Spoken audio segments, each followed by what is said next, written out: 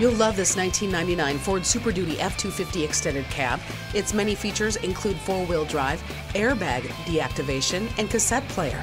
It has power windows, locks, and mirrors, running boards, and a trip computer.